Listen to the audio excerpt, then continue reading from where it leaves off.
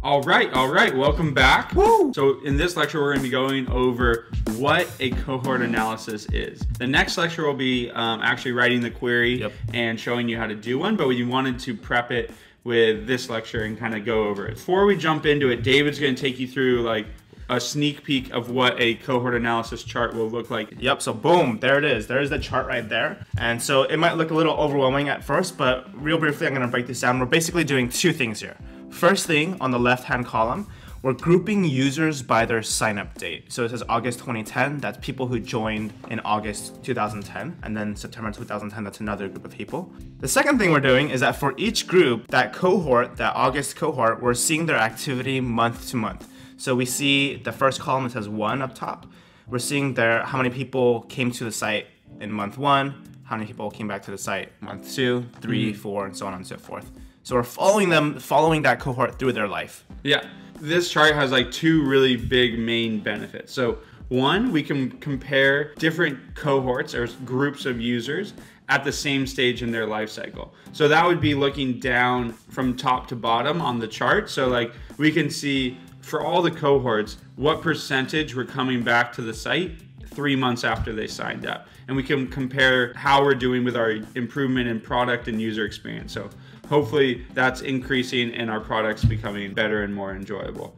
Uh, the second big benefit is we can see the long-term relationship that we have with a given user group. For each cohort, about 25% are coming back after one month, 6% is coming after two months, and we can see how long people from a given cohort are coming back to the site. We can see how strong that cohort is and how valuable they are. Yeah, so that was just like a broad overview uh, of what a cohort analysis and the benefits of it. But if that was confusing, stick around. We're gonna go deeper right now. First of all, what is a cohort? Yeah. So, for our purposes, a cohort is a group of people who have become a customer around the same time. So, people, for example, if we use the example analogy of a high school, people join the high school, they become freshmen in high school in 2002. That's one cohort. The next year, another group of freshmen arrive. They're, they join in 2003. That's another cohort. So, we're grouping people by their join date. So, after we've grouped them, we'll follow each cohort and monitor their behavior every month or every year, so on and so forth. Yeah, and so let's go. And so, why are we grouping these people by their join date, or why do we want to follow them over time? So, we're going to give a real life example, similar to our Sequila database. We're going to be talking about.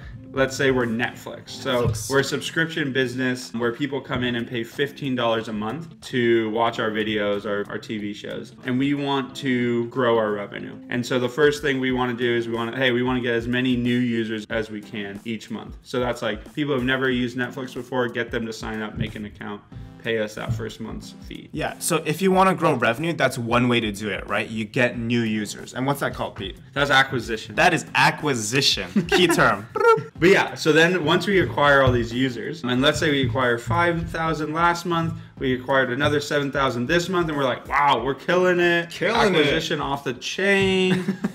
but we're going to be like missing a couple big areas uh, if we just focus on that and pat ourselves on the back. And there's two big reasons to that we're of things that we're going to be missing. yeah, if we see this chart going up instead of right new users, like, dude, our company is growing like crazy.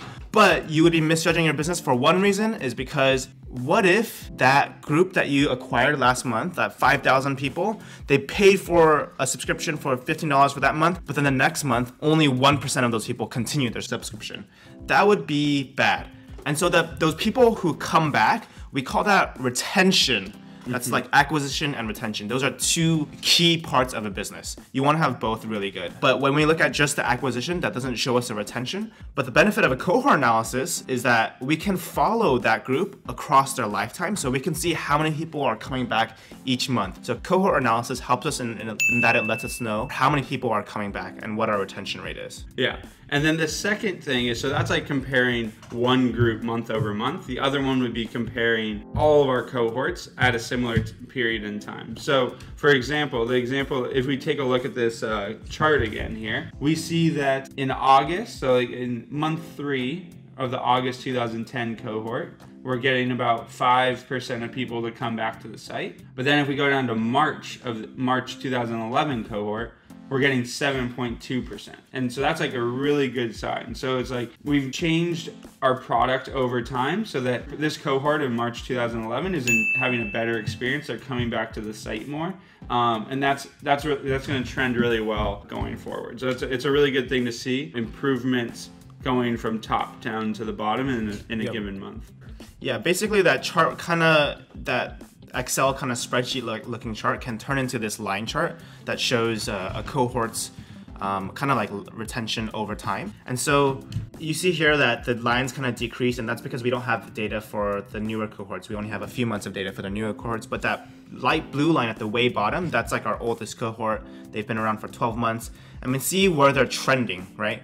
That's how much retention we're having. But as we see retention go higher, hopefully that slope will become less steep. And that's a good sign for us because that means the lifetime value of that cohort or that those customers are increasing.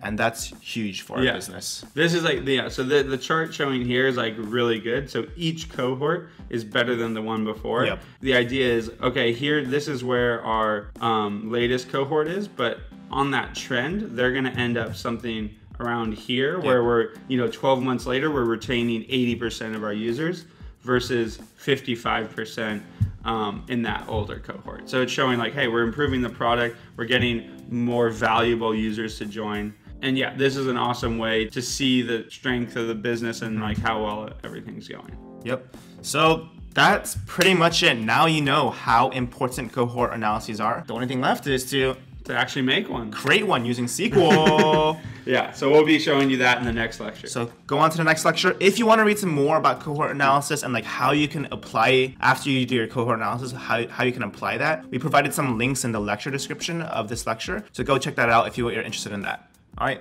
see you next time.